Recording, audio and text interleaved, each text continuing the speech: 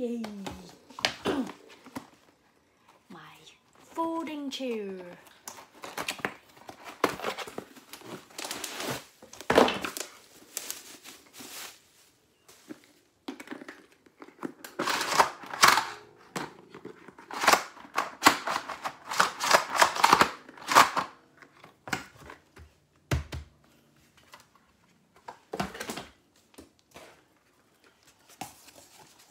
Lizzie.